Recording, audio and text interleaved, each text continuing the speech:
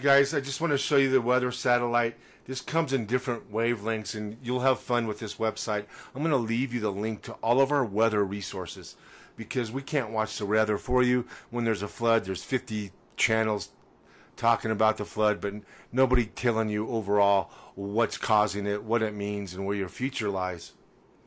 You notice here at the very top of the screen, right about the middle of the frame, you'll see that clockwise rotation. Very large vortex, kind of dry in the northern part, mm, kind of wet in the southern part, but you see that river of moisture going up through southern California, headed right up to the Great Lakes. And you know that that water actually goes the entire length of the United States in about three days. So that's a pretty fast moving spiral arm. If you're camped underneath a river like that for a couple days, you could get severe flooding. Or when that water runs into a cold front up north, boom, you can see how that big blob of water uh, just explodes over Illinois and Montana. And and it's just really uh, North Dakota, excuse me, and and it's just really high density, high density water, incredible flooding, and we don't want that to catch anybody off guard. The weather warnings, you know, you, you get them all the time.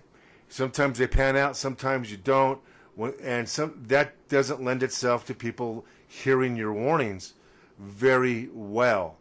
So we're going to post a link to all of our weather resources in the comment box. We're going to make this available to everybody, including our YouTube subscribers. And and that's there so you can monitor the weather, so you can make changes, so you can make travel plans and change travel plans. Because sometimes when it's cloudy, that's when you want to be outside, and when it's sunny, that's when you don't want to be outside. But if it's so cloudy that it's raining and lightning and 60 mile an hour winds, then you want to go back inside again. So the best way to really monitor the world is through the weather satellite system. So they've been changing it, they've been switching over, they've been deactivating.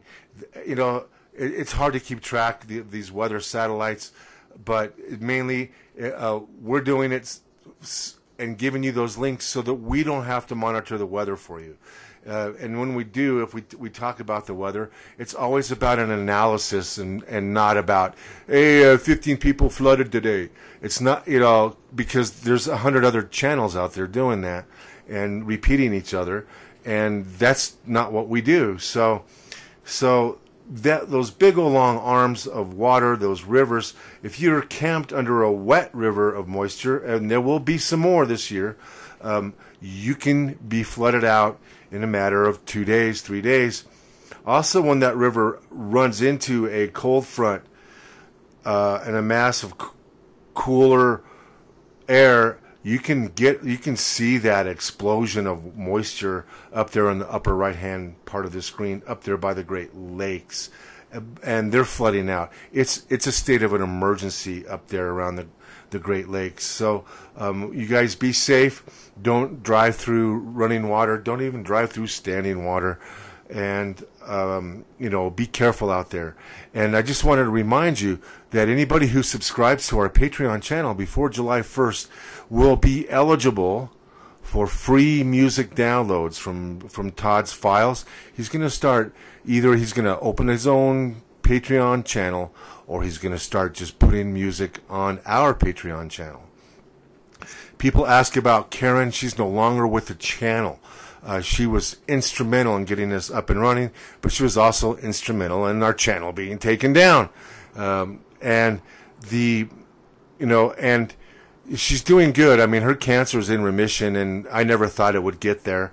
Uh, we were very careful about not killing the cancer too fast so that we weren't going to spill stem cells and we weren't going to create too much of a toxicity issue. We were trying to starve the cancer. And that way, you, you know, you don't have as many viable stem cells when the cancer cells turn over and die.